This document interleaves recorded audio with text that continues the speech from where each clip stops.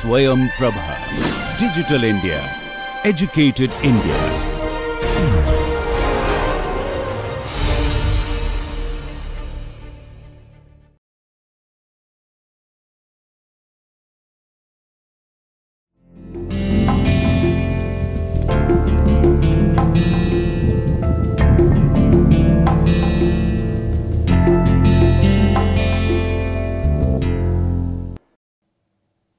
नमस्कार। भारतीय राजनीति से जुड़ी अपनी चर्चा के श्रृंखला में आज हम भूमंडलीकरण, नई आर्थिक नीतियों और भारतीय लोकतंत्र के बारे में बातचीत करेंगे। अगर आप इस चर्चा के पिछले एपिसोड्स को देख चुके हैं तो आपको यह पता होगा कि हमने भारतीय संविधान भारत के विभिन्न राजनीतिक दलों या भारत में चलने वाले सामाजिक आंदोलनों के बारे में अलग अलग तरीके से बातचीत की है। आज का जो हमारा टॉपिक है, वह अपने आप में काफ़ी महत्वपूर्ण है, क्योंकि यह पिछले 30 से ज़्यादा वर्षों से हमारे देश में जो परिवर्तन की एक धारा चल रही है, उसके बारे में एक समझ देने की कोशिश करता है। मैं आज की इस चर्चा में हमारे देश की जो नई आर्थिक नीतियाँ बनी उन्नीस सौ इक्यानवे में, उसके फलितार्थों को आपके सामने रखने की कोशिश करूँगा या उससे जुड़े हुए वाद विवाद पर हम बातचीत करेंगे। हम यह समझने की कोशिश करेंगे कि कैसे मौजूदा समय में जो उदारीकरण या निजीकरण की नीति है, वह भारत की राजनीति को प्रभावित कर रही है या भारत की जो अलग अलग राजनीतिक दल हैं, वो इसको किस रूप में देखते हैं। आज की जो हमारी पूरी चर्चा है, वह निम्नलिखित भागों में बटी होगी। सबसे पहले मैं आपके सामने एक भारतीय अर्थव्यवस्था के भूमंडलीकरण की पृष्ठभूमि रखने की कोशिश करूँगा और फिर यह बताऊँगा कि किस तरीके से भारतीय अर्थव्यवस्था का भूमंडलीकरण या वैश्वीकरण हुआ, किस तरीके की घटनाओं ने इस स्थिति को अंजाम दिया और इस तरह की नीति का क्या मतलब था, उसका क्या प्रभाव निकला, उस पर विभिन्न समूहों ने अर्थशास्त्रियों द्वारा भूमंडलीकरण विरोधी आलोचना कैसे प्रस्तुत की गई और इस तरह के वाद विवाद से कैसे बिंदु सामने आए। उसके बाद मैं आपको यह भी बताने की कोशिश करूँगा कि जो दलित चिंतक हैं या अन्य वंचित समूहों के नज़रिए से अगर जो विभिन्न चिंतकों ने अपनी बातें रखी हैं, उन्होंने किस तरीके से भूमंडलीकरण को देखा है, उसकी किस तरीके से तारीफ़ की है या उसकी किस तरीके से आलोचना की है। और उसके बाद हम इस प्रश्न पर भी विचार करेंगे। एक खुले प्रश्न के रूप में कि क्या भारत में कल्याणकारी राज्य की भूमिका की वापसी हो रही है? और अंत में निष्कर्ष के रूप में मैं आपके सामने कुछ बिंदुओं को रखूँगा। अगर हम भारतीय अर्थव्यवस्था के भूमंडलीकरण की बात करते हैं तो निश्चित रूप से यह उन्नीस सौ इक्यानवे में हुए नीतिगत बदलावों के संदर्भ में अ, जो नीतिगत बदलाव हुए जो नई तरह की नीतियाँ आईं जो नई तरह के कार्यक्रम लाए गए उनकी चर्चा है।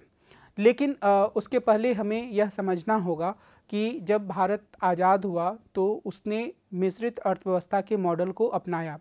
मिश्रित अर्थव्यवस्था के इस मॉडल में कुछ प्रमुख उद्योगों को छोड़कर बाकी सारे उद्योगों में राज्य ने अपनी भूमिका निभाई और जिन स्थानों पर निजी क्षेत्र को भूमिका दी गई, वहाँ भी निजी क्षेत्र को काफ़ी छूट दिया गया, उसे हर तरह की मदद उपलब्ध कराई गई।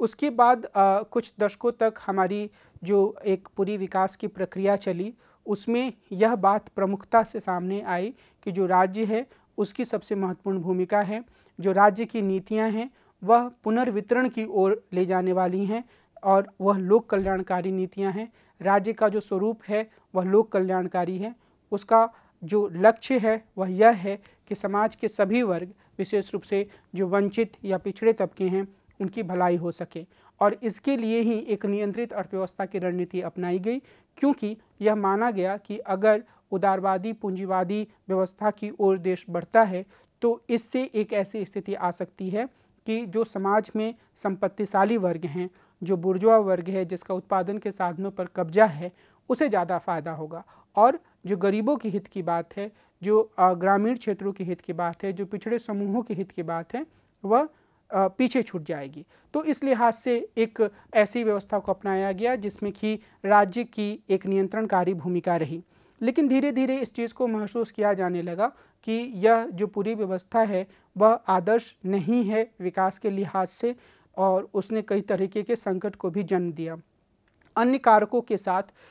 जो कि तात्कालिक कारक के रूप में जिन्हें गिना जा सकता है, जो एक महत्वपूर्ण बात हुई वह यह कि इस पूरे मॉडल में, जिसको कि नेहरूयन मॉडल कहा गया, उसमें जो उद्यम स्थापित हुए, उसमें जो आर्थिक गतिविधियाँ चली, उसमें कई तरह की रोक टोक लगी। तो जैसे सरकारी उद्यम थे, यहाँ पर मैं ज़रूर कहूँगा कि सारे नहीं, पर बहुत सारे सरकारी उद्यमों में जो उत्पादकता थी, वो बड़ी कम थी, कई बार वो नकारात्मक थी, और ये उस प्रवृत्ति का हिस्सा है जहाँ पर अक्सर लोग मानते हैं कि उनकी एक सरकारी नौकरी हो गई तो अब उन्हें कोई बहुत दम लगाकर काम करने की ज़रूरत नहीं है। और इस तरह की परिघटना बहुत सारे उद्यमों में सामने आई। इसके अलावा निजी क्षेत्र को में काम करने का कोई प्रोत्साहन नहीं रहा। हर एक चीज़ के लिए लाइसेंस कोटा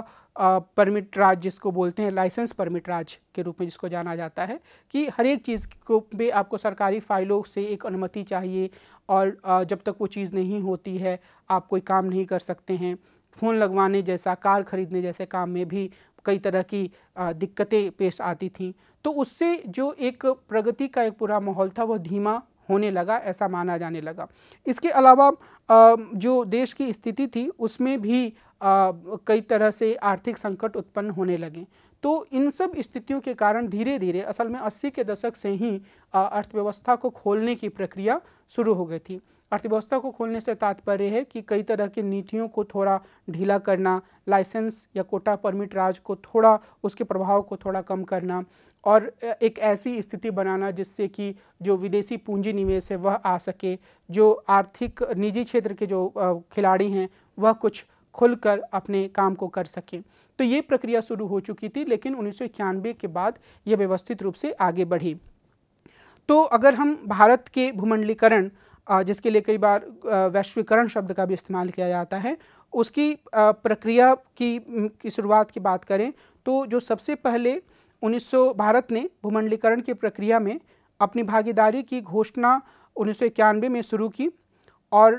उसकी भूमिका दुनिया के अन्य हिस्सों के भूमंडलीकरण की तरह 80 के दशक में ही बननी शुरू हो चुकी थी। 80 के दशक में ही अनिवासी भारतीय जिन्हें कि एनआरआई नॉन रेजिडेंट इंडियन कहा जाता है उस तरह का एक समुदाय भारतीय अर्थतंत्र के लिए काफ़ी महत्वपूर्ण हो गया। यह राष्ट्रवाद की पारंपरिक अवधारणा में तब्दीली का संकेत था। यानी कि पारंपरिक अवधारणा में यह माना जाता था कि जो देशभक्त हैं, वो असली देश में रहते हुए काम करते हैं, लेकिन जो राष्ट्रवाद की एक नई अवधारणा सामने आई उसमें यह माना जाने लगा कि अगर कोई विदेशी, विदेश में व्यक्ति रहता है, वहाँ पर कमाई करता है, अपनी संस्कृति के प्रति संवेदनशील है और वहाँ से विदेशी मुद्रा भेजता है देश के विकास के लिए तो वह एक अलग तरह के राष्ट्रवाद का प्रतिनिधित्व करता है। वह एक अलग तरह की देशभक्ति है। और अगर आपको याद हो कि नब्बे के दशक में कई तरह की फ़िल्में बनी जिनमें इस बात को बड़े ही ज़ोर शोर से दिखाया गया और ऐसी फ़िल्मों में जो करेक्टर होते थे, वो विदेशों में रहते थे, वहाँ पर वो अमीर हो जाते थे और उनके मन में यह चाह होती थी कि वो देश में वापस आएँ तो ये जो अनिवासी भारतीय नाम की, का जो एक पूरा समुदाय है, वह उभर कर सामने आया और धीरे धीरे उसका महत्व बढ़ता गया। अभी भी उसका महत्व काफ़ी ज़्यादा है, इस बात को भी समझने की आवश्यकता है। तो अनिवासी भारतीयों के उभार का अर्थ यही था कि भारतीय राष्ट्र के हित देश की भौगोलिक सीमाओं के परि भी स्थित हो सकते थे। जो इस देश को छोड़कर कभी ना वापस आने के लिए चले गए थे, वे बिना वापसी किए इस देश में रहने वाले वालों से केवल इसलिए महत्वपूर्ण लगने लगे थे कि उनके पास पूंजी, आधुनिक प्रौद्योगिकी और प्रबंधन की तकनीकें थीं। इसी दशक में भारत ने निक नेट के ज़रिए इंटरनेट की दुनिया में कदम रखा। उपग्रहीय चैनलों ने इसी दशक में शहरी मध्य वर्ग के ड्राइंग ड्राइंग रूमों में प्रवेश किया। और प्रधानमंत्री के रूप में राजीव गांधी ने बार बार इस बात की घोषणा की कि वो एक कंप्यूटरीकृत भारत को 21वीं सदी में ले जाना चाहते हैं। एक ऐसे भारत को जो नवीन तकनीकों के प्रति जागरूक हो और उनका प्रयोग अपने विकास के लिए करना चाह रहा हो या कर रहा हो। नेहरू युग में अपनाई गई विकास नीति आयात प्रतिस्थापन के सिद्धांत पर आधारित थी, पर 80 के दशक में राजीव गांधी के नेतृत्व में अर्थव्यवस्था ने निर्यातोन्मुख विकास के रास्ते पर कदम बढ़ा दिए थे। इसका मतलब यह था कि नेहरू के समय में जो नीति थी उससे एक अलग निर्यात को बढ़ावा देने वाली एक ज़्यादा आक्रामक नीति को अपनाने की कोशिश की गई। निर्यात योग्य जिनसों के उत्पादन के लिए आयात बढ़ाना ज़रूरी था इसके परिणामस्वरूप विदेशी मुद्रा का खर्च बढ़ा। विदेशी मुद्रा कोष की हालत यह हो गई थी कि भारत के पास केवल दो हफ्तों के आयात का भुग, के भुगतान की क्षमता रह गई थी। विदेशी मुद्रा के संकट गहराते ही तत्कालीन कांग्रेस सरकार, जिसने जून उन्नीस सौ इक्यानवे में शपथ ली थी, उसने प्रमुख विपक्षी नेताओं की एक कमरा बंद बैठक बुलाई, जिसमें उन्हें सूचना दी गई कि देश दिवालिया होने के कगार पर खड़ा है। तत्कालीन प्रधानमंत्री और कांग्रेस के नेतृत्व में अल्पमतीय सरकार की अगुवाई कर रहे पीवी नरसिम्हा राव का कहना था कि अब अंतर्राष्ट्रीय मुद्रा कोष से कर्ज लेने के अलावा कोई चारा नहीं है। पीवी नरसिम्हा राव ने प्रधानमंत्री के रूप में जब शपथ लिया था तो उसके पहले राजीव गांधी की हत्या हुई थी और राजीव गांधी की हत्या के बाद राजनीतिक रूप से तकरीबन वनवास में जा चुके पीवी नरसिम्हा राव को पहले कांग्रेस अध्यक्ष और बाद में प्रधानमंत्री बनने का मौका मिला। और जब वो प्रधानमंत्री बने तो उन्होंने वित्त मंत्री के रूप में डॉक्टर मनमोहन सिंह को नियुक्त किया। जो कि एक बहुत ही सम्मानित अर्थशास्त्री थे और अकादमिक पहचान थी उनकी। और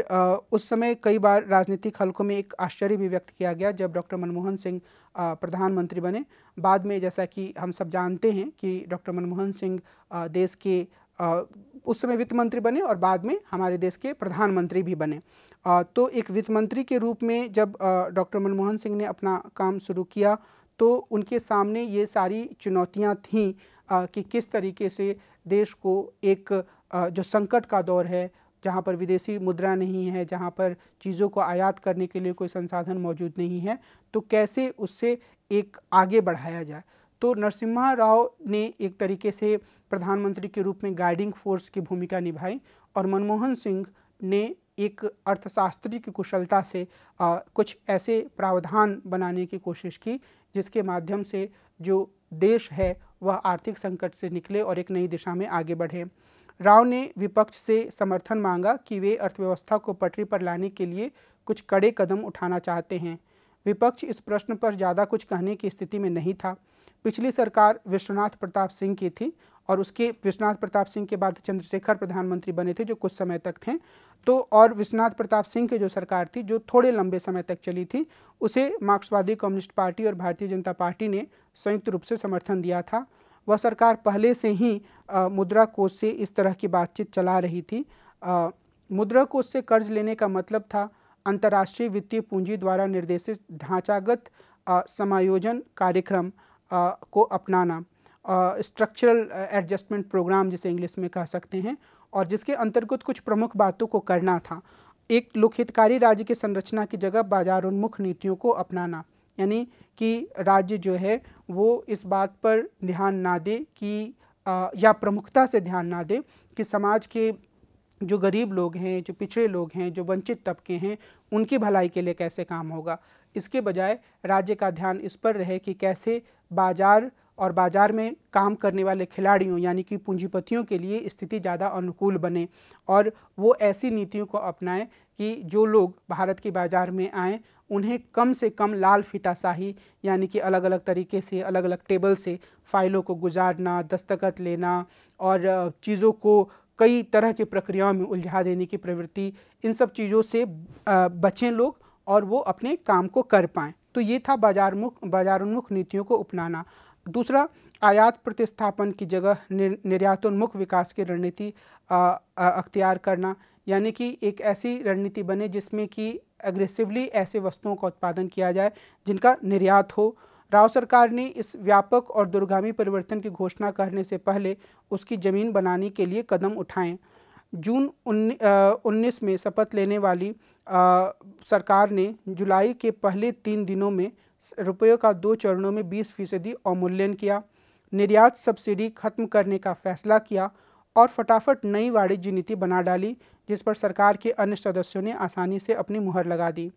नई उद्योग नीति पर पहले कांग्रेस की मंत्रिपरिषद में चर्चा हुई और नीति प्रस्ताव की भाषा में दिखावे के लिए नेहरू का लिखा हुआ एक पैरा इंदिरा गांधी के कुछ वाक्य और, राजीव गांधी के कुछ कथन जोड़ दिए गए। ऐसा दिखाया गया कि मानो यह नीति नेहरू के समाजवाद का ही अगला कदम है।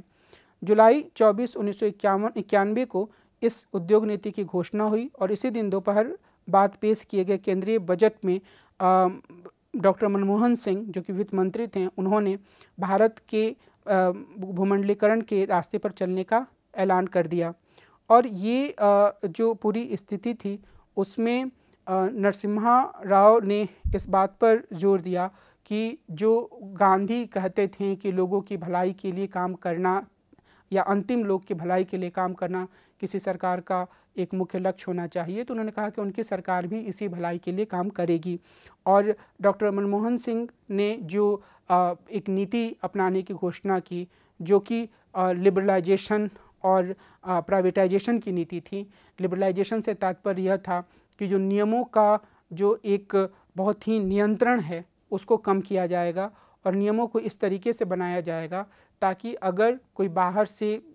विदेशी कंपनी आना चाहती है, भारत में उत्पादन या व्यापार करना चाहती है तो उसे कम से कम बाधाओं का सामना करना पड़ेगा। और निजीकरण से तात्पर्य यह था कि जो भी उद्यम जो घाटे में चल रहे थे, जिन्हें लाभ नहीं हो रहा था, उन्हें, उनका निजीकरण किया जाए। तो इसके पक्ष में यह तर्क दिया गया कि इससे सरकार के पास संसाधन आएँगे और बाज़ार के स्तर पर कुशलता आएगी। जो कुशलता, प्रतियोगिता और ज़्यादा उत्पादन, ये जो तर्क थे, वह इस तरह की आर्थिक नीति के पक्ष में इस्तेमाल किए गए। इसका मतलब यह था कि अगर अलग अलग देशों की बेहतर कंपनियों से, भारतीय कंपनियों का मुकाबला हो तो वो ज़्यादा बेहतर तरीके से उत्पादन करेंगी, जो भारतीय कंपनियाँ हैं वो भी तो ये कोई गलत चीज़ नहीं है। दूसरा यह कहा गया कि अगर बाहर की कंपनियाँ भारत में आती हैं तो और वो अपने या तो उत्पादन शुरू करती हैं, या फिर अपना सामान लेकर भी आती हैं तो उन्हें उन सामानों को बेचने के लिए भारत के लोगों को ही रखना पड़ेगा, वो बाहर से लोगों को लेकर नहीं आएँगे। तो इस लिहाज से भारत के लोगों के लिए ज़्यादा से ज़्यादा रोज़गार उत्पन्न होगा, और इन सभी स्थितियों से अर्थव्यवस्था को एक गति मिलेगी और अर्थव्यवस्था एक बेहतर दिशा में आगे जाएगी, ज़्यादा उत्पादन बढ़ेगा। तो ये जो एक स्वप्न था या ये जो एक लक्ष्य था, वह नेहरूवादी लक्ष्य से इस लिहाज से अलग था कि उसमें राज्य ने यह ज़िम्मेदारी धारण की थी कि समाज में जो भी तबके गरीब हैं, वंचित हैं, जिनके पास संसाधन नहीं हैं, उन्हें वह शिक्षा देने का या बुनियादी सुविधाएँ उपलब्ध कराने का काम करेगी। और ये जो एक पूरा मॉडल था, जो कि एक तरीके से जड़ता का भी शिकार हो गया था, उससे आगे बढ़ते हुए मनमोहन सिंह और नरसिंह राव ने एक ऐसी नीति के, की घोषणा की, जिससे कि भारत पूरे विश्व बाज़ार से जुड़ गया और आगे यह प्रक्रिया और तेज़ी से आग, बढ़ी। यानी कि मैं कहना चाह रहा हूँ कि नरसिंह राव की सरकार के बाद जो सरकारें आईं, उन्होंने भी इस प्रक्रिया को आगे बढ़ाया, चाहे वो अटल बिहारी वाजपेयी की सरकार हो या उसके बाद मनमोहन सिंह की सरकार हो, या अटल बिहारी वाजपेयी से पहले इंद्र कुमार गुजराल और देवेगौड़ा की सरकार हो या मनमोहन सिंह के बाद नरेंद्र मोदी की सरकार हो, इन सभी सरकारों ने इसी नीति को आगे बढ़ाया मोटे तौर पर। कुछ सरकारों ने इन नीतियों को और ज़्यादा तीव्र किया, जैसे कि अटल बिहारी वाजपेयी ने डिसइन्वेस्टमेंट का एक अलग से मंत्रालय ही बना दिया यानी कि डिसइन्वेस्टमेंट का मतलब था कि जो सरकारी संपदाएँ थीं, उनको निजी क्षेत्रों को बेचना और बाकी सरकारों ने भी मोटे तौर पर इन कदमों को अपनाया। आगे थोड़े और विस्तार से हम देखेंगे कि कैसे दूसरे समूहों ने इस पर अपनी प्रतिक्रियाएँ दी। आरंभिक तौर पर इसे इस तरह की नीति को संदेह की नज़र से देखा गया और उस पर ये जो परिघटना आई, वो इतनी ज़्यादा व्यापक थी कि जीवन का कोई भी क्षेत्र इससे अछूता ना रह सका। पुराने जमे हुए राष्ट्रवादी पूंजीपतियों ने से लेकर सूचना प्रौद्योगिकी के व्यवसाय से बने नए उद्योगपतियों तक, पब्लिक सेक्टर के नौकरशाहों से लेकर राजनीतिक दलों और जनपक्षीय आंदोलनकारियों तक, हास्याग्रस्त समुदाय के पक्ष में सोचने वालों, मार्क्सवादियों, नक्सलवादियों आधुनिकता के आलोचकों, नागरिक अधिकारवादियों, गांधीवादियों और पर्यावरणवादियों, यहाँ तक को इसके पक्ष विपक्ष में अपनी राय बनानी पड़ी। और यह भी एक महत्वपूर्ण बात है कि बाद के दौर में, यानी कि उन्नीस सौ इक्यानवे के बाद के दौर में भारत की दशा और दिशा को मापने का, उसको उसको विश्लेषित करने का एक प्रमुख आधार भूमंडलीकरण या निजीकरण या उदारीकरण की जो नीतियाँ थीं वो बन गई कि कैसे वो एक जिसको कहते हैं कि एक एक ऐसे एक वाटर शेड के रूप में बन जाना जो कि जिसके आस पार आप चीज़ों में बदलाव देख सकते हैं। तो वो उस रूप में इसको माना जाने लगा। मार्क्सवादियों ने इसे पूंजीवाद का सर्वव्यापीकरण बताते हुए साम्राज्यवाद विरोधी संघर्ष के दायरे में व्यू रचना का ऐलान किया। अब यहाँ मैं इस बात का उल्लेख करना चाहूँगा कि आ, असल में यह जो वैश्वीकरण का की जो, या भूमंडलीकरण की जो पूरी प्रक्रिया थी और उसके माध्यम से जो राज्य की नीतियों के प्रभावित होने की बात थी, उसके चलते जो एक स्थिति बनी, उसका प्रभाव इतना गहरा था कि ज्योति बसु के बाद जब बुद्धदेव भट्टाचार्य पश्चिम बंगाल के चीफ मुख्यमंत्री बने तो बुद्धदेव भट्टाचार्य जो कि सीपीआईएम के थे, एक मार्क्सवादी पार्टी के मुख्यमंत्री थे उन्होंने यह कोशिश की कि उनके राज्य में निजी पूंजी के जो खिलाड़ी हैं वो आए और उस संदर्भ में नंदीग्राम और सिंगूर में किसानों का भूमि अधिग्रहण करके और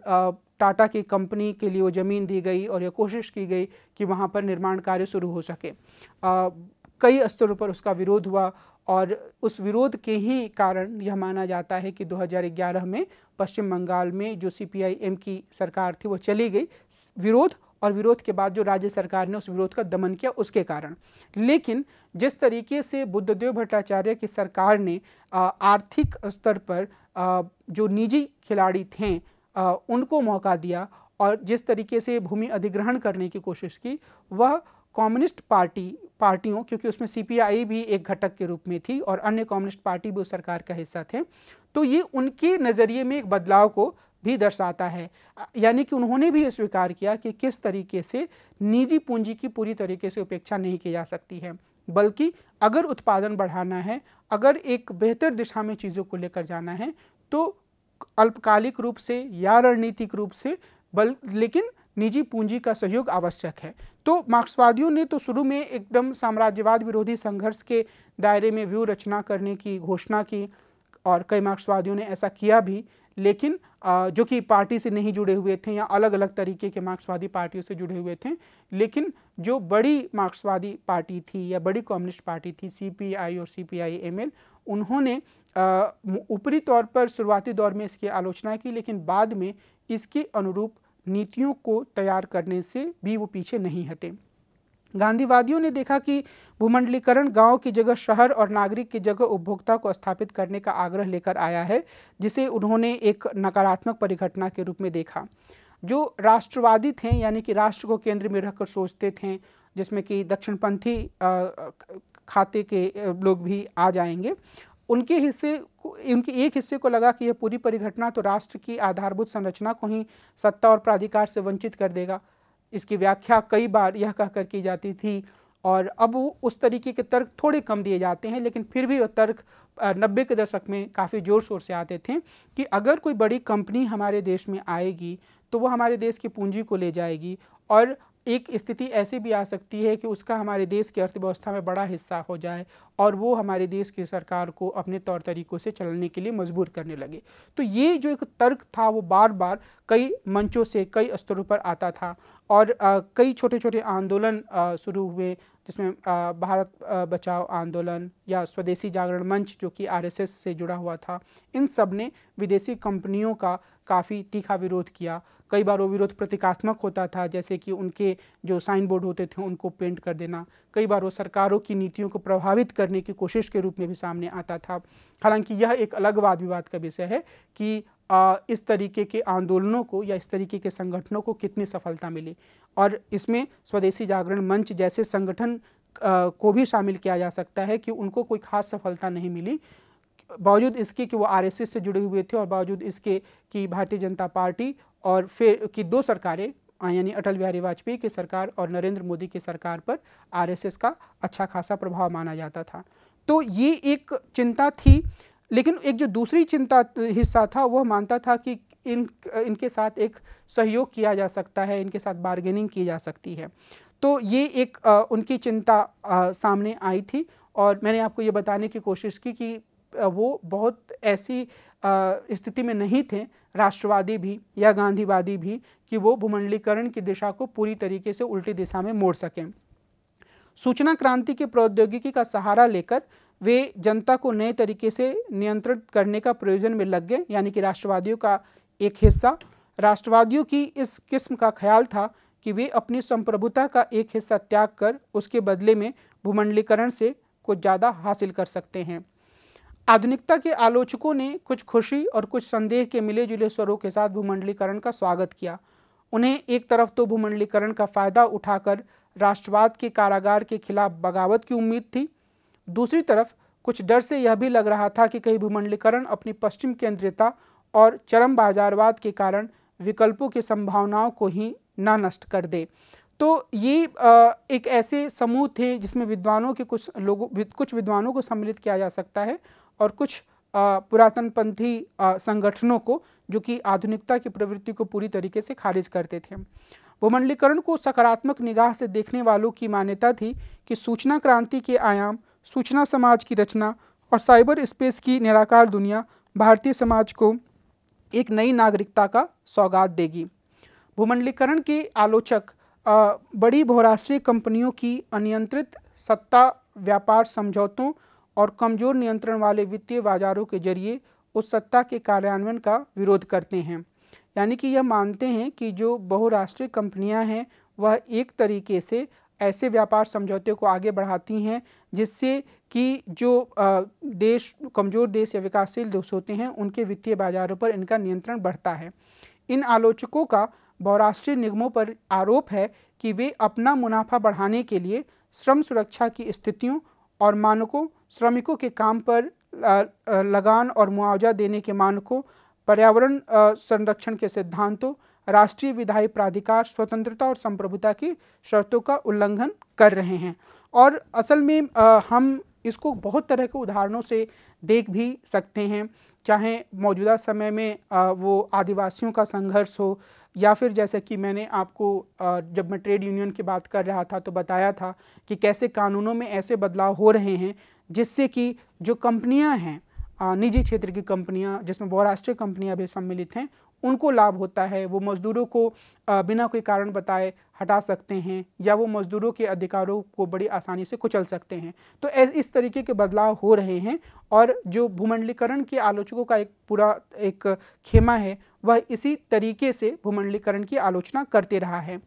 भूमंडलीकरण विरोधी आंदोलन, global justice movement, ultra globalisation movement, anti corporate globalisation movement जैसे नामों से जाना जाता है। उनकी आलोचना का मुख्य निशाना विश्व बैंक अंतर्राष्ट्रीय मुद्रा कोष, organisation for economic cooperation and development, विश्व व्यापार संगठन, North American free trade agreement, free trade area of Americas multilateral agreement of investment और general agreement of trade in services जैसी संस्थाएँ और संधियाँ हैं। और मुख्य रूप से अगर आप इन आलोचनाओं को देखेंगे और मैं सिर्फ़ उनके संक्षिप्त बात को प्रस्तुत करूँ तो उसमें यही ज़ोर दिया जाता है कि ये सारे जो समझौते हैं, ये सारी जो व्यवस्थाएँ हैं या जो संगठन और इनकी कार्य पद्धति है, वह बहुराष्ट्रीय कंपनियों, अमीर देशों के पक्ष में हैं और जो गरीब देशों की जनता हैं, उनके हितों की इसमें उपेक्षा की जाती है, उनके हितों की आलोचना की जाती है। जो भूमंडलीकरण के आलोचक हैं, वे world economic forum, trans trans Atlantic business dialogue और एशिया पैसिफिक इकोनॉमिक कोऑपरेशन जैसे व्यापारिक गठजोड़ों का भी विरोध करते हैं, जिनकी वजह से ग्लोबल निज़ाम को प्रोत्साहन या ग्लोबल व्यवस्था को प्रोत्साहन मिला है। और इस तरह की व्यवस्था के प्रोत्साहन मिलने से इनका यह मानना है कि जो पूरा का पूरा व्यापार है, वो जो बड़े खिलाड़ी हैं, जो बड़े बहुराष्ट्रीय कंपनियाँ हैं, उनके पक्ष में झुक जाता है और उससे जो छोटे स्तर के जो उत्पादक हैं, वो पूरी तरीके से तबाह हो जाते हैं। और इसको हम बहुत तरह के उदाहरणों से समझ सकते हैं। मिसाल के तौर पर अगर हम ये देखें कि एक बहुराष्ट्रीय कंपनी का जूता आपके बाज़ार में आता है और वह जूता आ, सस्ता भी होता है देखने में भी अच्छा होता है और उसके सामने उसके बरक्स आपके शहर में जूता बनाने वाला कोई एक ऐसा छोटा सा समूह है जिसमें कि 12-15 लोग काम करते हैं और वो मेहनत से जूता बनाते हैं थोड़ा थोड़ी उसकी कीमत भी ज़्यादा हो जाती है तो निश्चित रूप से कुछ समय बाद यही होगा और यही बहुत स्थान, से स्थानों पर हुआ है कि जो ये एक वैश्विक व्यवस्था बनी है, उसमें जो बड़ी मछलियाँ या बड़ी कंपनियाँ आई हैं, उन्होंने छोटी कंपनियों को पूरी तरीके से साफ़ कर दिया है। तो इसमें एक तरफ़ कुछ लोगों को रोज़गार मिला, पर दूसरी तरफ़ जो पारंपरिक रोज़गार करने वाले लोग थे, उन्हें या जो छोटे स्तर पर रोज़गार करते थे, कुटीर उद्योग चलाते थे, उन्हें काफ़ी हद तक अस्तित्व के संकट का सामना करना पड़ा। और यह परिघटना जो हमारे देश में नब्बे इक्यानवे में शुरू हुई वह बाद के दौर में और गहराती चली गई और उसके अलग अलग स्तर सामने आए अलग अलग क्षेत्रों में उसका प्रतिरोध भी सामने आया जिसके बारे में आगे थोड़े विस्तार से मैं बताने की कोशिश करूँगा। भूमंडलीकरण पर अपनी चर्चा को आगे बढ़ाते हुए आ, मुझे लगता है कि हम अगर कुछ अर्थशास्त्रियों की आलोचनाओं पर भी ध्यान दें तो हमें एक नए तरह की अंतर्दृष्टि मिलेगी। न्यू लिबरल उसूलों को मानने वाले अंतर्राष्ट्रीय आर्थिक संगठनों की कार्रवाई को आलोचनात्मक निगाह से देखने वाले कई अर्थशास्त्रियों ने भी भूमंडलीकरण विरोधी आलोचना को बल प्रदान किया है। न्यू लिबरल उसूल या न्यू लिबरल लॉज का से मतलब यही है कि किस तरीके से आ, जो अंतर्राष्ट्रीय स्तर में व्यापार हैं वो ज़्यादा से ज़्यादा उदार हों राष्ट्र राज्यों की सीमाओं का महत्व कम हो और जो एक निजी प्लेयर हैं, वो ज़्यादा महत्वपूर्ण भूमिका निभाएँ। तो कई बार जो प्राइवेटाइजेशन और लिबरलाइजेशन की पॉलिसी है, उसके लिए न्यू लिबरल शब्द का इस्तेमाल भी किया जाता है। ये ज़रूरी नहीं है कि ये सभी विद्वान, जिन अर्थशास्त्रियों की हम बात करने जा रहे हैं, वे खुद को भूमंडलीकरण की आलोचना करने वालों की श्रेणी में रखते हों। इनमें अमर्त्य सेन, जेम्स टोबिन और जोसेफी स्टिग्लिस जैसे प्रमुख अर्थशास्त्री हैं इनमें से कुछ अर्थशास्त्रियों को नोबेल पुरस्कार भी मिल चुका है। अमर्त्य सेन ने अपनी रचना डेवलपमेंट एज फ्रीडम में तर्क दिया है कि विकास की अवधारणा को राष्ट्रीय आमदनी या प्रति व्यक्ति आय या कुल घरेलू उत्पाद के रूप में परिभाषित करने के बजाय मानवीय क्षमता के विस्तार के रूप में समझा जाना चाहिए। इसके लिए स्वास्थ्य और शिक्षा पर ज़ोर देने वाली नीतियों को प्रमुखता देनी होगी। और ये जो अमर्त्य सेन का एक विचार है, उस विचार की जो प्रमुख बात है, वो कई बार कैपेबिलिटी अप्रोच के रूप में भी राजनीति सिद्धांत में उसको जाना जाता है कि वो इस बात पर ज़ोर देते हैं कि अगर आपके पास ये डेटा है कि लोगों की आर्थिक आय बढ़ गई आमदनी बढ़ गई। लोगों का मतलब ये है कि प्रति व्यक्ति राष्ट्रीय आय। और आ, इस तरीके की आंकड़ों के माध्यम से अगर आप यह घोषणा करते हैं कि आपके देश ने या आपके समाज ने काफ़ी विकास कर लिया है तो यह बहुत अच्छी समझ नहीं है। हकीकत यह है कि आपको यह देखना होगा कि वास्तव में आप लोगों को कितना सक्षम बना पाए हैं। और वो सक्षम बनाने का अर्थ है कि लोग वास्तविक अर्थों में अपनी स्वतंत्रता का उपयोग कर पाने में समर्थ हो पाए हों। वो कुछ काम करने में समर्थ हो पाए हों। और ये तभी हो सकता है जब उन्हें कुछ बुनियादी चीज़ें उपलब्ध कराई जाएँ और ये बुनियादी चीज़ें उनकी आवश्यकताओं के अनुसार उपलब्ध कराई जानी चाहिए, ना कि सिर्फ़ ऊपरी तौर पर संसाधन देकर। तो ये इस अर्थ में जो रिसोर्स डिस्ट्रीब्यूशन की बात करने वाले इगैलिटेरियंस थे यानी कि जॉन रॉल्स जैसे विद्वान, उनसे एक कदम आगे जाते हैं और हर एक व्यक्ति की कैपेबिलिटी के विकास पर ज़ोर देते हैं। तो इनका यही कहना है कि अर्थ, आप सिर्फ़ इस बात पर खुश ना हों कि बहुत सारी चीज़ें बढ़ गई, बहुत सारा पूंजी निवेश हो गया, सारा उत्पादन होने लगा, बल्कि आपको यह ध्यान देना होगा कि वास्तविक अर्थ में लोग किस सीमा तक अपनी स्वतंत्रता का उपभोग करने में समर्थ हुए हैं। जेम्स टोबिन ने प्रत्येक वित्तीय लेन देन पर एक खास तरह का टैक्स लगाने का सुझाव पेश किया है, जिसके कारण वित्तीय पूंजी के बेरोक टोक प्रवाहों को कुछ न कुछ नियंत्रित किया जा सकता है। टोबिन टैक्स नामक यह प्रस्ताव भूमंडलीकरण के आलोचकों के एजेंडे में शामिल हो चुका है और यह जो टैक्स है, उसका उपयोग अलग तरीके से जो वंचित और हास्याकृत समूह हैं, उनके लिए किया जा सकता है।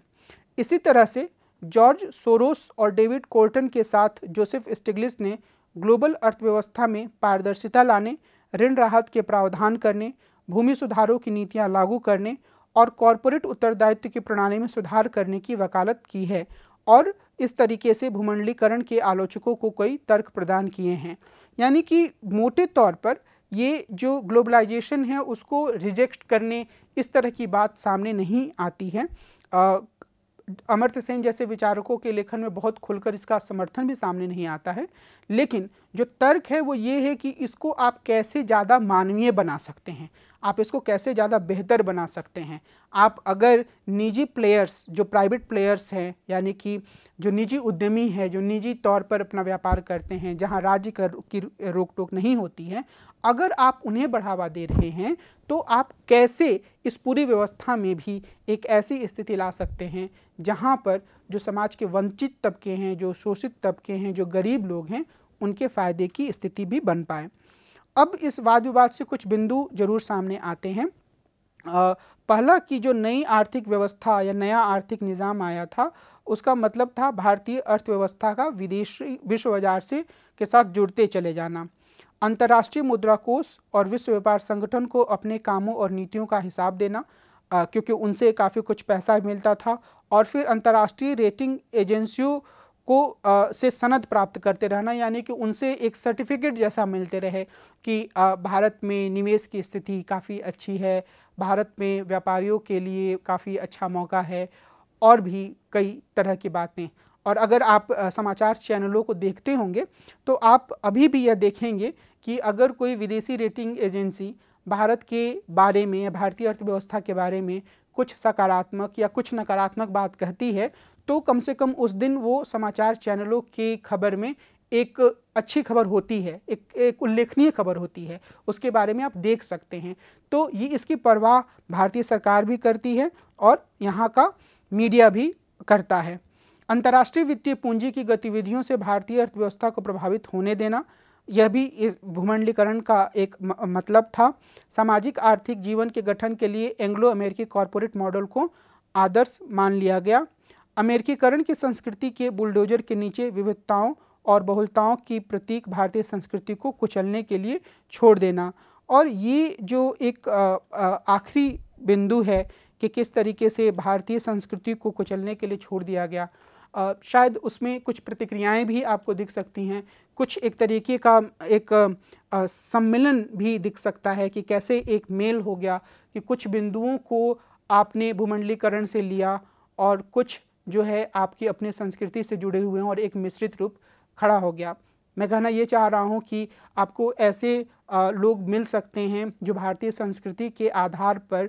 या भारतीय संस्कृति के प्रसार के लिए काम कर रहे हैं, लेकिन वो उन तकनीकों का उपयोग कर रहे हैं जो भूमंडलीकरण से आई हैं और वो भारतीय संस्कृति से जुड़ी चीज़ों को विदेश भी ले जा रहे हैं। यानी कि प्रक्रिया एक तरफा नहीं रही, लेकिन मोटे तौर पर भारतीय संस्कृति के बहुत सारे आयाम इससे प्रभावित हुए, इस बात से भी इनकार नहीं किया जा सकता है। और जो एक बड़ा खतरा था, जैसे कि जब ये कहा गया कि कोई बड़ी कंपनी आएगी तो छोटी कंपनियों को लील जाएगी, उनको अप्रभावी बना देगी, वैसे ही यह खतरा भी माना गया और उसके प्रभाव को समझने के लिए कई अध्ययन भी हुए कि अगर बाज़ार को खुला छोड़ दिया जाता है और एक ऐसी कंपनी आती है जो एक खास तरह के उत्पादों के साथ ही साथ एक खास तरह की संस्कृति को भी बढ़ावा देती है तो यह स्थिति आ सकती है कि जो बाकी छोटी छोटी छोटी छोटी संस्कृतियाँ हैं, वो अपने मूल्यों को खो दें और वो खुद को पहनावे में, विचारों में हाव भाव में, उन्हीं संस्कृतियों में ढाल लें जो प्रभावी संस्कृति के द्वारा लाई जा रही है।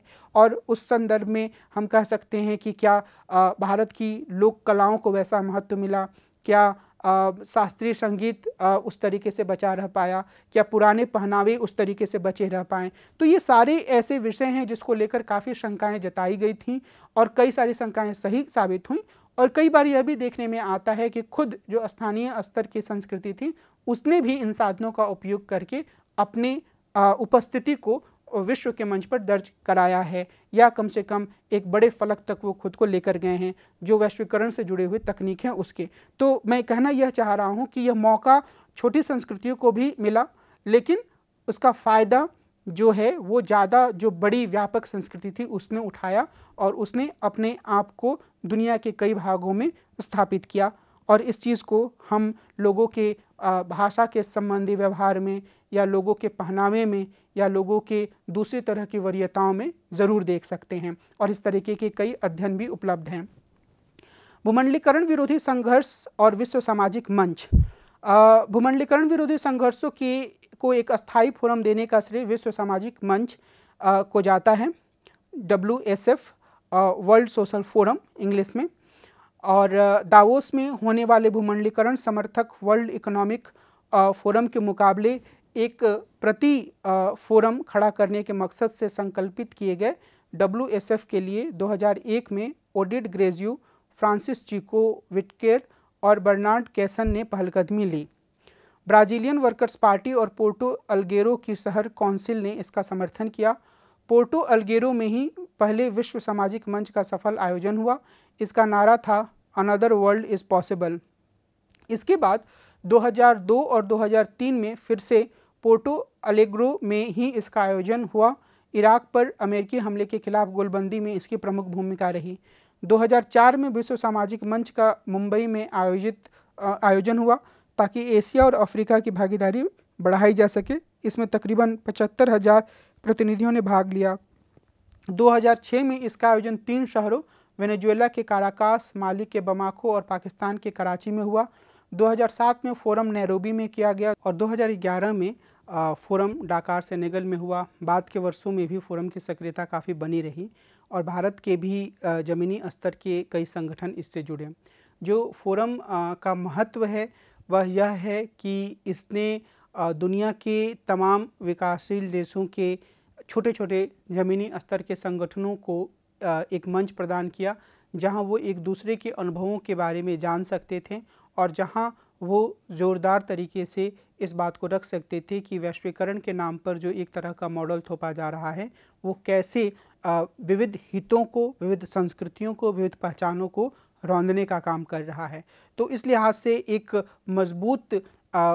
आवाज़ के रूप में ज़रूर इसने अपनी उपस्थिति दर्ज कराई। हालाँकि मैं यह भी कहूँगा कि वैश्वीकरण की एक पूरी प्रक्रिया जो चल पड़ी थी उसको आ, पूरी तरीके से नकार देने की स्थिति ला पाने में यह फोरम नहीं आ पाया है। और उसका एक सबसे बड़ा कारण यह है कि जो अलग अलग समूह हैं उन्होंने वैश्वीकरण को अपने हितों के अनुसार देखा है या वैश्वीकरण की प्रक्रिया के अनुसार अपने आप को ढाला है। मैंने पीछे आपको communist party of India Marxist का उदाहरण दिया कि कैसे पश्चिम बंगाल में उसने अपनी नीति को इस तरीके से परिवर्तन किया था ताकि जो निजी प्लेयर हैं या प्राइवेट प्लेयर्स हैं या जो एक निजी क्षेत्र के उद्यमी हैं वो अपनी भूमिका निभा पाए। तो ऐसा अन्य कई समूहों के साथ हुआ। अभी मैं आपको एक महत्वपूर्ण बिंदु की ओर ले जाना चाहूँगा और वह यह है कि दलित और अन्य वंचित समूहों का किस तरीके का प्रभाव रहा, जो निजीकरण, उदारीकरण की नीति अपनाई गई उसका। अब यहाँ पर हमें इस बात को याद रखने की ज़रूरत है कि जो विद्वान हैं जो दलित मुद्दों पर लिखते हैं उन्होंने अलग अलग तरीके से इन चीज़ों को देखा। जैसे गोपाल गुरु या आनंद तेलतुम्बड़े उन्होंने भूमंडलीकरण की काफ़ी तीखी आलोचना की और उनका जो मुख्य तर्क था या मुख्य तर्क है, वह इस बात पर आधारित है कि वैश्वीकरण के कारण भले ही कुछ लोगों को लाभ हुआ हो और कुछ दलितों को भी लाभ हुआ हो, लेकिन गोपाल गुरु यह कहते हैं कि इससे एक बहुत ही कम स्तर की एक चमत्कारिक स्थिति आई है low spectacle intense low intensity spectacle ये शब्दावली इस्तेमाल करते हैं uh, जो कि दलित अरबपतियों को उभार के कारण आई है कि एक चमक दमक वाली चीज़ दिखती है लेकिन वो उतनी स्थायी और उतनी प्रभावी नहीं है। और ऐसा मानने का कारण यह है कि जो व्यापक स्तर पर उदारीकरण या निजीकरण की जो नीति रही है उसका दलितों के लिए नकारात्मक प्रभाव ही रहा है। क्योंकि इससे पूंजी का कुछ हाथों में संकेंद्रण हुआ है, क्योंकि इससे रोज़गार की संभावनाएँ कम हुई हैं, खासतौर पर सरकारी नौकरियों की। और सरकारी नौकरियों के कम होने का मतलब यह भी है कि जो आरक्षण से लाभ दलितों को मिलता है, वह निजी क्षेत्र में नहीं मिल सकता है। और निजी क्षेत्र में आरक्षण का लाभ न मिलने के कारण एक जो स्थिति होती है, वह एक ऐसी स्थिति होती है जहाँ पर नौकरियों के लिए उन्हें अलग तरीके का संघर्ष करना पड़ता है। तो ये जो एक कुपोषण या भुखमरी की जो समस्या है या जो निजी क्षेत्र में नौकरियों के मौके कम होने की बात है, उसको रेखांकित करते हुए गोपाल गुरु वैश्वीकरण की प्रक्रिया को दलितों के लिए बहुत ही नकारात्मक मानते हैं। आनंद तेलतुम्बने ने अंबेडकर के लेखन का सहारा लेते हुए दिखाया है कि किस तरीके से अंबेडकर जो हैं वो दलितों के पक्ष में भूमि वितरण करने तक के विचार को आगे बढ़ाते थे और वो कभी भी एक ऐसे राज्य की तरफदारी करने के लिए तैयार नहीं थे जहाँ पर राज्य की भूमिका सक्रिय ना होकर एक तटस्थ भूमिका हो जाए और जो निजी पूंजीपति हैं वो अपने पूंजीवादी हितों को लेकर काम करते रहें। और इस संदर्भ में उन्होंने 1946 में अंबेडकर की रच, लिखी गई रचना का उल्लेख भी किया है। लेकिन दूसरी ओर कई ऐसे विद्वान हैं जैसे चंद्रभान प्रसाद और मिलिंद कामले तो खैर उन्होंने अपने आप को एक उद्योगपति के रूप में स्थापित किया है पर वो भी एक जो डिक्की बनी फिक्की के आ, के तर्ज पर आ, दलित उद्योगपतियों के एक फोरम के रूप में उसके वो अध्यक्ष रहे हैं। और तो और चंद्रभान प्रसाद एक बौद्धिक के रूप में लगातार एक ऐसे चिंतक के रूप तौर पर सामने आए हैं जिन्होंने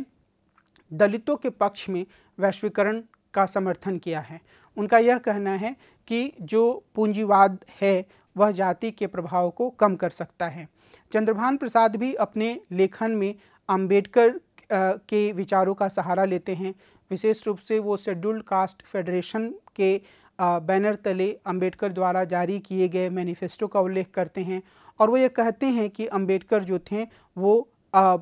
कम्युनिस्टों के या वामपंथियों के खिलाफ थे और वो एक ऐसी नीति बनाना चाहते थे जो कि एक ऐसी व्यवस्था हो जहाँ पर बाज़ार की भी भूमिका हो। चंद्रभान प्रसाद का यह कहना रहा है कि जो वैश्वीकरण की या भूमंडलीकरण की जो स्थिति है, वहाँ पर जो व्यक्ति है, वो अपनी योग्यता के आधार पर आगे बढ़ सकता है और वो जो ग्रामीण समाज की जो एक पुरातन जाति वाली प्रथा है या जाति वाली व्यवस्था है, उससे लोगों को मुक्त करता है और इस आधार पर वह एक स्वतंत्रकर्ता के रूप में दलितों को भी यह मौका देता है कि वो अपनी योग्यता और अपनी मेहनत के आधार पर खुद को स्थापित करें। और उनका यह कहना है कि इसी आधार पर बहुत सारे दलित उद्योगपति उभर कर सामने आए हैं और जिन्होंने बिल्कुल ही निम्न स्तर से नीचे के ज़मीनी स्तर से अपनी शुरुआत की और वो एक अरबपति उद्योगपति के तौर पर खुद को स्थापित कर पाएँ। और इस संदर्भ में डिक्की का उदाहरण दिया जाता है और बहुत तरह के ऐसे लेखन भी सामने आए हैं। और जो मुख्य तर्क है यहाँ पर वो ये कि जैसे जैसे दलित अरबपति बढ़ेंगे, वैसे वैसे एक ऐसी स्थिति आएगी जहाँ पर वो ज़्यादा लोगों को रोज़गार दे पाएँगे और वो यह कह पाएँगे कि जो जाति की बात है वो बिल्कुल ही अप्रभावी बात है। और मिलिंद कामले ने अपने अनुभवों में यह बताया है कि कैसे जब वो उद्योग की स्थापना कर रहे थे तो उन्होंने एक निश्चित राशि बैंक से, सरकारी बैंक से लेने की कोशिश की और उसमें उस पूरी प्रक्रिया में उन्हें तीन साल का चक्कर लगाया गया और उसके बाद भी जितनी राशि वो चाहते थे उससे कम राशि उन्हें लोन के रूप में मिली, जो कि निजी क्षेत्र में के मौका में मौका आने पर या निजी क्षेत्र का इस्तेमाल करने पर उन्हें इस तरह की परेशानियों का सामना नहीं करना पड़ा। तो एक तरीके से उन्होंने यह कहा कि आ, अगर वो अपने आप को आगे बढ़ा पाए हैं या उनके जैसे और दलित उद्यमी आगे आ पाए हैं तो इसके पीछे जो मुख्य कारण है वह मुख्य कारण इस बात से जुड़ा हुआ है कि व्यवस्था उदारीकृत थी बाज़ार थे कई तरह के विकल्प थे। सिर्फ़ सरकारी बैंक नहीं थे दूसरे तरह के बैंक थे जो आर्थिक सहायता देने के लिए या कर्ज देने के लिए तैयार थे काम का मौका देने के लिए तैयार थे। तो ये एक सोच है जो कि वैश्वीकरण के लाभ को अभिव्यक्त करती है। हालाँकि यह भी सच है कि आ, मोटे तौर पर आ, जो दलित युवा हैं उन उन्हें भी उन सारी समस्याओं को से जूझना पड़ रहा है जो दूसरे युवा जूझ रहे हैं। लेकिन आ, कई बार जाति के आधार पर निजी क्षेत्र में भी भेदभाव होते हैं। एक प्रस्ताव जो बार बार कई दलित विचारकों के द्वारा दिया गया वैश्वीकरण या ग्लोबलाइजेशन की व्यापक आलोचनाओं करने के बाद भी कि निजी क्षेत्र में कम से कम आरक्षण दिया जाए निजी क्षेत्र की नौकरियों में निजी क्षेत्र की कंपनियों को यह कहा जाए कि वो दलितों को आरक्षण दें आ, या आदिवासियों को आरक्षण दें या अन्य पिछड़ी जातियों को भी दें। लेकिन कभी भी यह मांग पूरी तरीके से ठोस रूप से ऐसे सामने नहीं आ पाई कि निजी क्षेत्रों को इस मांग को स्वीकार करने के लिए तैयार होना पड़े। तो कुल मिलाकर दो अलग अलग तरीके के तर्क हैं। मोटे तौर पर हम देखेंगे तो हम यह कह सकते हैं कि जो दलितों पर इसका नकारात्मक प्रभाव है, वो उनकी सामाजिक आर्थिक स्थिति पर भी निर्भर करता है। बहुत सारे दलित जो वंचित स्थिति में थे, वो अभी भी वंचित स्थिति में हैं। हालाँकि बाज़ार खुलने से, जैसे कई लोगों के लिए मौके खुले हैं, वैसे दलितों के लिए भी खुले हैं। तो कुछ हद तक सकारात्मक पहलुओं को सामने लाने के बावजूद यह कहना आ, सही नहीं यह कहना गलत नहीं होगा कि वैश्वीकरण का दलितों पर सकारात्मक रूप से कोई चमत्कारिक प्रभाव नहीं हुआ है बल्कि उनकी समस्याएँ और ज़्यादा बढ़ी हैं और उनके लिए जो मौके हैं सरकारी नौकरियों के कम होने के कारण और निजी क्षेत्र में आरक्षण ना होने के कारण वो कम ही हुए हैं। अब हम इस बात पर विचार करेंगे कि भारत में जो कल्याणकारी राज्य की पूरी अवधारणा है, क्या उसकी वापसी हुई है?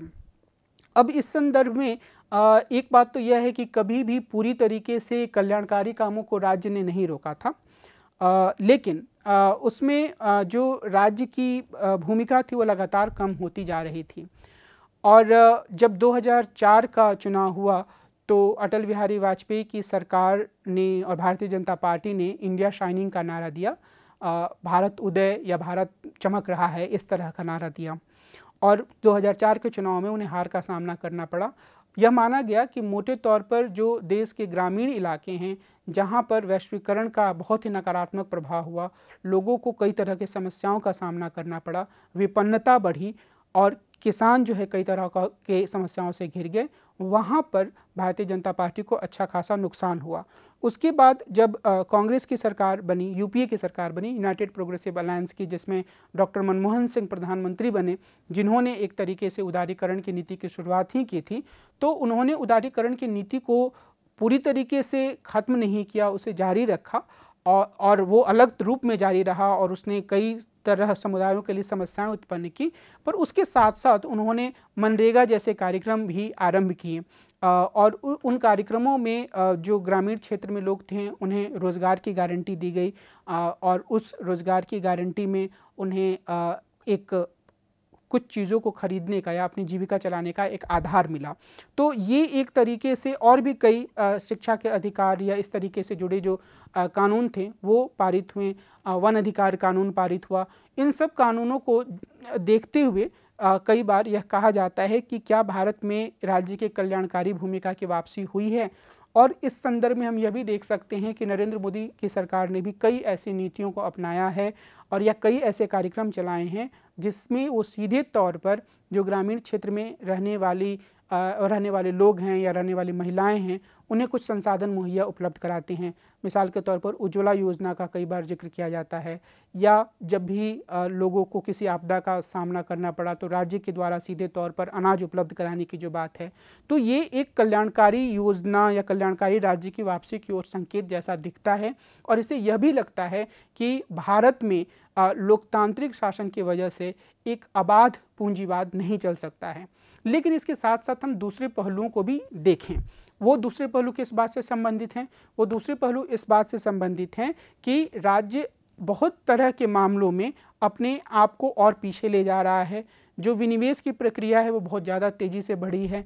और यह माना जाता है मनमोहन सिंह सरकार के समय में भी कि सरकार को एक मुख्य चुनौती यही लगी थी कि कैसे आदिवासी क्षेत्रों को दोहन के लिए खोला जाए निजी प्लेयर्स के लिए, यानी कि निजी उद्यमियों के लिए। और उसमें कई तरह के संघर्ष उन इलाकों में बढ़ें और उस बिंदु पर भारतीय जनता पार्टी और कांग्रेस दोनों की राजनीति एक स्तर पर लगती है। मिसाल के तौर पर सलवा जुडूम में एक तर्क यह मजबूती से सामने आया कि जो गाँव थे, जहाँ पर खनिज संपदा थे, उन्हें खाली कराना था। तो ये पूरी जो सलवा जुडूम की प्रक्रिया थी, वो भाजपा के शासन में शुरू हुई और उसका नेतृत्व जो है विपक्ष के नेता महेंद्र कर्मा ने किया। और और एक तरीके से जो बिंदु मैं आरंभ में बोलना चाह रहा था कि जो वाम दल हैं, वो अलग अलग मौक़ों पर कई नीतियों की मुखालफत करते हैं, पर वो मुख्य रूप से वैश्वीकरण या उदारीकरण की नीति को पूरी तरीके से बदलने की, के तर्क पर अब बहुत ज़्यादा ज़ोर नहीं देते हैं। तो मैं यह बिंदु रेखांकित करना चाह रहा हूँ कि एक तरफ़ कुछ कल्याणकारी काम चल रहे हैं, पर उतनी ही तेज़ी से निजीकरण की प्रक्रिया भी आगे बढ़ रही है। उतनी ही तेज़ी से पूंजी का संकेंद्रण भी आगे बढ़ा है। उतनी ही तेज़ी से जो गरीब हैं, उनकी संख्या भी बढ़ी है लगातार। हालाँकि कई बार यह विवाद रहता है आंकड़ों के में कि गरीबों की संख्या कम हो रही है या नहीं हो रही है। कई बार पहले योजना आयोग पर यह आरोप लगा है कि उसने इस तरीके से गरीबी रेखा के परिभाषा में परिवर्तन किया कि गरीबों की संख्या कम दिखे। हालाँकि यह एक अलग विषय है और उस पर अर्थशास्त्री काफ़ी हद तक वाद विवाद कर सकते हैं। लेकिन मैं जिस बिंदु की ओर आपका ध्यान दिलाना चाह रहा हूँ, वह यह है कि किस तरीके से जो एक तरफ़ हम कुछ कल्याणकारी कामों की उपस्थिति भी देखते हैं और वो भारत के लोकतांत्रिक पद्धति के कारण मुमकिन हो पाया, लेकिन उसका अर्थ यह नहीं है कि किसी भी सरकार में, चाहे वो मनमोहन सिंह की सरकार हो, चाहे वो नरेंद्र मोदी की सरकार हो, वहाँ पर जो उदारीकरण या निजीकरण की प्रक्रिया है, वो बिल्कुल ही उल्टी दिशा में चली गई हो और निजीकरण की जगह राज्य बिल फिर से एक नियंत्रणकारी भूमिका में आने लगा हो, जहाँ तक आर्थिक गतिविधियों का संदर्भ है वहाँ पर। बल्कि राज्य ने लगातार यह कोशिश की है कि जो निजी क्षेत्र है उसकी भूमिका बढ़े, विनिवेश को बढ़ावा दिया जा रहा है और कई स्थानों पर एयरपोर्ट जैसी जगहों को भी निजी क्षेत्र के हवाले किया जा रहा है। तो दोनों पद्धति या दोनों प्रक्रियाओं को हम एक साथ देख सकते हैं और वो चीज़ एक साथ आगे लेकर चलने की राज्य के द्वारा कोशिश की जा रही है। मैं निष्कर्ष के तौर पर अन्य बातों के अलावा इस बात पर भी ज़ोर देना चाहूँगा कि जो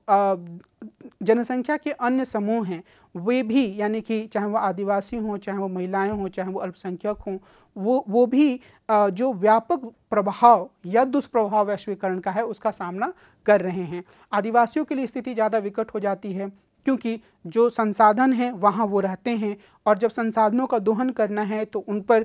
विस्थापन का दबाव बढ़ता है, उन पर अपनी ज़मीन देने का दबाव बढ़ता है। तो ये एक ऐसी स्थिति है, जिसमें कि कुछ समूहों को ज़्यादा दबाव का सामना करना पड़ रहा है। बाकी समूह पूरे देश की जनसंख्या के तरह ही अलग अलग तरीके के दबाव का सामना कर रहे हैं वैश्वीकरण के कारण और कुछ के लिए अवसर बढ़े हैं। और कुछ समूहों के लिए अवसर ज़रूरत से ज़्यादा बड़े हैं। मिसाल के तौर पर जो उच्च वर्ग या पूंजीपति वर्ग है या जो उच्च मध्य वर्ग है, उसके लिए ज़्यादा अवसर बढ़े हैं ऐसा कई अध्ययनों से यह बात सामने आई है। तो निष्कर्ष के रूप में मैं बस यह कहना चाहूँगा कि भूमंडलीकरण की प्रक्रिया अपने तमाम आलोचकों, प्रतिरोध में खड़ी शक्तियों और लोकतंत्र के तबाह बर्बाद हो जाने की भविष्यवाणियों को धत्ता बताते हुए तकरीबन आबाद गति से चल रही है। भारतीय समाज अपने जीवन में शायद ही कभी इतनी तेज गति से बदला हो, जितना इस दौर में उसने परिवर्तन देखा है। मध्य वर्ग का खान पान रहन सहन स्त्री पुरुष संबंध, परिवार की संस्था, अन्य नाते, रिश्तेदार, राजनीतिक कार्रवाइयों के स्वरूप, विचारधाराओं का प्रभाव, मीडिया और मनोरंजन के दायरे, शहरीकरण की रफ्तार और कुल मिलाकर भारतीय आधुनिकता का स्तर पहले जैसा नहीं रह गया है। इस यथार्थ की उपेक्षा नहीं की जा सकती कि उसका लाभ अधिकांशतः अमीरों और साधन संपन्नों को ही नसीब हुआ है। इसने समाज के गरीब और निचले तबकों को अधिक विपन्न करके विषमता को ही बढ़ाया है। मैं यह उम्मीद करता हूँ कि इस पूरी प्रस्तुति का जो बुनियादी लक्ष्य था कि भारत में जो भूमंडलीकरण की प्रक्रिया, किन परिस्थितियों में शुरू हुई, वो किस तरीके को